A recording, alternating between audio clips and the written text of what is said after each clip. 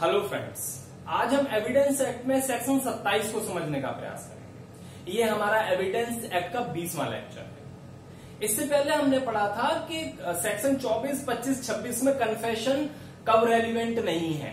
कौन सी ऐसी स्थिति? और 26 का एक पार्ट पढ़ा था कि जिसमें कन्फेशन रेलिवेंट हो रहा था। मेन रूप से यहाँ पर दो चीज़ें हैं। एक तो क्वेश्चन ये बनता है कि क्या पुलिस कस्टडी के दौरान कोई इंफॉर्मेशन या कन्फेशन रेलिवेंट हो सकता है तो मेन रूप से सेक्शन 26 में भी हमने पढ़ा था और 27 में भी हम एक पार्ट पढ़ेंगे। दूसरी चीज़, दूसरा क्वेश्चन ये भी होता है कि संस्वीकृति की सुसंगतता संबंधी प्रावधान का वर्णन करो तो इसमें सेक्शन 26 आएगा, सत्ताईस सत्ताईस आएगा, अट्ठाईस आएगा, उन्तीस आएगा और तीस आएगा। तो पहले वाले संस्वीकृति कब सुसंगत नहीं है? वो थे और 26 का थोड़ा सा उसके बाद 27, अट्ठाईस उन्तीस तीस में हम पढ़ेंगे कि संस्वीकृति की सुसंगतता संबंधी प्रोविज़न तो हम शुरू करते हैं। देखिए तो यहाँ पर सेक्शन 27 की जो हेडिंग है वो ये कह रही है कि how much of information receive from the accused may be prove मतलब एक्यूज से हमने कोई इंफॉर्मेशन प्राप्त की? बहुत सारी। तो उसमें से कितनी साबित कर सकते हो? इसका मतलब सारी साबित नहीं कर सकते एक्यूज यदि पुलिस कस्टडी में कुछ बोलता है तो कितनी करोगे? सेक्शन 27 में एक तो चीज़ हम ये पढ़ेंगे। दूसरी पुलिस कस्टडी के दौरान रहते हुए भी उसकी उसकी स्टेटमेंट को इंफॉर्मेशन को सुसंगत माना जा रहा है। तो ऐसी कौन सी शर्त है वो सुसंगत माना जा रहा है? दूसरी चीज़ ये पढ़ेंगे। तीसरी हमने 25, 26, 24 में हमने पढ़ा था कि संस्कृत सुसंगत नहीं है। परंतु यहाँ पर पुलिस कस्टडी में होने के बावजूद भी उसकी संस्वीकृति को सुसंगत मान रहे हैं। तो क्यों मान रहे हैं? और दूसरी चीज़ चूँकि मान रहे हैं तो इसलिए सेक्शन 27, 24 का 25 का और 26 का अपवाद भी हो गया। तो section 27 is the exception of section 24, 25 and 20 section और इट वाज हेल्ड और ये किस मामले में बताया गया? स्टेट ऑफ़ यूपी मैंने शॉर्ट में लिखा है एसओ यूपी यानी कि state of UP versus Deoman Upadhyaya 1960 supreme court के मामले में बताया गया। तो यहाँ पर हम बात करें कि भाई 24, 25, 26 में हम संस्वीकृति को क्यों सुसंगत नहीं मान रहे थे? वहाँ पर यह बात थी कि जब हम किसी एक्यूज से कन्फेशन जो कर रहा था स्टेटमेंट जो बोल रहा था, इसलिए सुसंगत नहीं था, क्योंकि हो सकता है उसके खिलाफ थर्ड डिग्री का प्रयोग किया गई हो, उसके खिलाफ हिंसा हुई हो, इसलिए जो स्टेटमेंट है अर्थात कन्फेशन है, वो फॉल्स हो सकता है। है ना? तो इसलिए वहाँ पर उसके कथन को हम सुसंगत नहीं मान रहे थे, उसके विरुद्ध साबित नहीं कर पा रहे थे। पर सत्ताईस में से कौन सी चीज़ जुड़ गई है कि हम उसके कथन को सुसंगत मान रहे हैं? तो देखते हैं तो मेन रूप से सेक्शन 27 के लागू होने के लिए कौन कौन सी शर्तें हैं, उनको हम पढ़ते हैं। तो पहली चीज़ मैंने सेक्शन 27 की हेडिंग लिख दी है। उसके बाद मैंने क्वेश्चन लिखा है कि during police custody police custody के दौरान कन्फेशन और इन्फॉर्मेशन में भी रेलिवेंट रेलिवेंट हो सकती है तो वो चीज़ हमने पढ़ी। कौन कौन से सेक्शन 26 में 27 में रेलिवेंट हो सकती है, वो समझेंगे। और फिर इसका जनरल रूल क्या है? सेक्शन 24, 25, 26 का हम जानते हैं मैंने आपको बता दिया। उसके बाद सेक्शन 27 की हम क्या पढ़ रहे हैं? कंडीशंस पढ़ेंगे। मैंने बोल दिया सेक्शन 27 एक्सेप्शन है 24, 25, 26 का ये केस मैंने बता दिया। और इसकी कौन सी कंडीशन है सेक्शन 27 के लागू होने के लिए? उन कंडीशंस को पढ़ते हैं। तो पहली कंडीशन ये बताई गई है कि भाई जो इंफॉर्मेशन दी हो वो एक्यूज ने दी हो। फ़र्स्ट कंडीशन सेक्शन 27 के लागू होने के लिए इंफॉर्मेशन एक्यूज ने दी हो, अभियुक्त ने दी हो। नंबर दो, वो अभियुक्त पुलिस कस्टडी में भी होना चाहिए।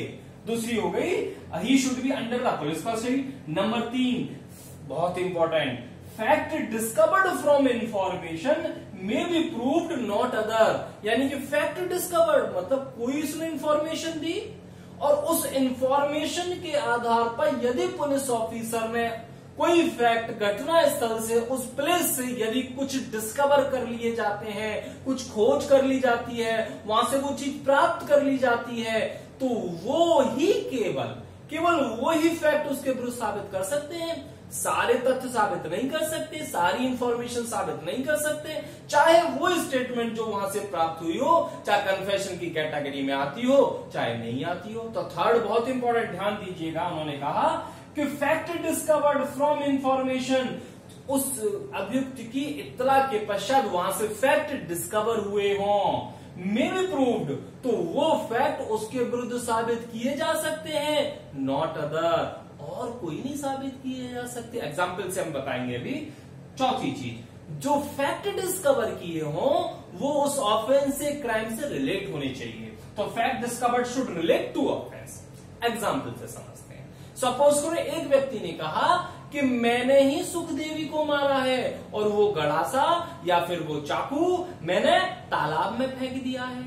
या फिर कोई व्यक्ति बोलता है कि मैंने ही मोहन को मारा है और वो चाकू मैंने पेड़, पीपल के पेड़ के नीचे गड्ढा खोद के छुपा दिया है। या फिर मैंने ही उसकी हत्या की है और वो पिस्टल मैंने छत पर छुपा दी है या तालाब में फेंक दिया है। तो इन सारा जो मैं इंफॉर्मेशन जो अभियुक्त ने बोली, अर्थात जो मैंने बोली तो उसके दो पार्ट है। पहला तो उसने बोला कि मैंने ही सुखदेवी को मारा है, या मैंने ही मोहन को मारा है मैंने ही बी की हत्या की है। ये। और दूसरी, वो मारने वाला हथियार, वो डंडा, वो कपड़े, वो डेड बॉडी वो फैक्ट वो चीज़ें उस जगह पर छुपा दी हैं। तो जो दूसरा वाला स्टेटमेंट बोला कि वो पिस्टल मैंने छत पर छिपा दी है। तो यदि पुलिस ऑफिसर वहाँ जाते हैं और वो पिस्टल को या उस गड़ासे को प्राप्त कर लेते हैं तो वो वाला जो सेकंड वाला पार्ट है, वो उसके विरुद्ध साबित किया जा सकता है। और जो पहला वाला था कि मैंने ही सुखदेवी को मारा है, वो नहीं साबित किया जा सकता। या फिर कि मैंने वहाँ से एक पोरबंदर से या फिर किसी विशेष स्थान से चार केमिकल के ड्रम चोरी किए हैं और वो मैंने एक विशेष स्थान पर छुपा दिए हैं। तो विशेष स्थान से छुपा दिए वो तो रेलिवेंट है। और यदि मिल जाते हैं, वो तो साबित किया जा सकता है कि मैंने ही चोरी की उन चार केमिकल ड्रमों की। ये नहीं साबित की जा सकती। है ना? दो पार्ट में आप ध्यान रखेंगे। तो कितनी साबित की जा सकती है? सेक्शन 27 की हेडिंग क्या थी? कि अभियुक्त की दी गई इतला में से कितनी साबित की जाती है? तो इसका आंसर ये हुआ कि उतनी दी जा सकती है जितनी उस इतला के परिणाम स्वरूप उस घटना स्थल से या उस स्थान से पुलिस ऑफिसर द्वारा डिस्कवर कर ली जाती है। उसके अलावा कुछ नहीं, चाहे वो इतला कन्फेशन की कैटेगरी में आती हो या नहीं आती हो। ठीक है ना? तो ये चार एलिमेंट मैंने बताए आपको, बहुत इंपॉर्टेंट है। उसके पश्चात हम केस को पढ़ते हैं। केस बहुत इंपॉर्टेंट है यहाँ पर। मैंने चार ही लिखे चारों बहुत important number one state of UP versus Deoman Upadhyaya इसमें मेन रूप से दो चीज़ें बताई थी। मैंने सबके फैक्ट आपको बता दिए केसेस के एग्ज़ाम्पल के रूप में।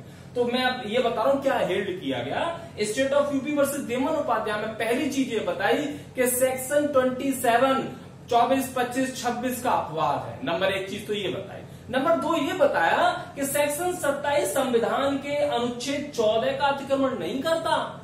है ना? विभेदकारी नहीं है। दूसरी चीज़ ये बताई थी। दो पॉइंट दूसरा case state of UP versus Kashi Kathi Kalu के मामले में, इस मामले में न्यायालय ने कहा कि सेक्शन 27 सेक्शन 20 तीन का संविधान के अनुच्छेद 20 के तीन का अतिक्रमण नहीं करता। संविधान के 20 तीन में बताया गया है कि किसी भी व्यक्ति को अपने ही विरुद्ध साक्ष्य देने के लिए मजबूर नहीं किया जाएगा। तो ये संविधान के 20 तीन का अतिक्रमण नहीं करता। ये दोनों केस बहुत बहुत ज़्यादा इंपॉर्टेंट है। सबसे ज़्यादा इंपॉर्टेंट ऊपर वाला। उसके बाद नेक्स्ट केस है पुलकोरी कोट्या वर्सेस एम्पर ये भी सेक्शन सत्ताईस से रिलेटेड है। और नेक्स्ट है मोहम्मद इनायतुल्ला वर्सेस स्टेट ये ड्रम वाला है केमिकल के ड्रम वाला तो ये इससे रिलेटेड है। तो हमारा मेन रूप से सेक्शन सत्ताईस में चार केस हो गए आपके चार कंडीशन हो गई और सेक्शन सत्ताईस की हेडिंग थी कि इस दी गई इतना में कितनी हम आ, उसके विरुद्ध साबित कर सकते ये मैंने आपको बता दिया। कॉन्सेप्ट क्या था? सेक्शन 24, 25, 26 का? क्योंकि वहाँ पर इसलिए नहीं दी उसके विरुद्ध साबित की जा रही थी क्योंकि वो गलत थी। सेक्शन 27 में इसलिए साबित कर सकते हैं या कर पा रहे हैं एक्यूज के विरुद्ध क्योंकि ये वहाँ से फैक्ट डिस्कवर हो गए। इसलिए गलत होने की संभावना फॉल्स होने की संभावना यहाँ पर कम है और पुष्टि हो चुकी है फैक्ट डिस्कवर तो ये है सेक्शन 27 आई थिंक आपको ये समझ में आ गया होगा। प्री में मेन में इंटरव्यू में बहुत पूछते हैं। आठ, दस बार ये क्वेश्चन आ चुका है। तो इस तरीके से सेक्शन 27 हमारा कंप्लीट हो गया। Thank you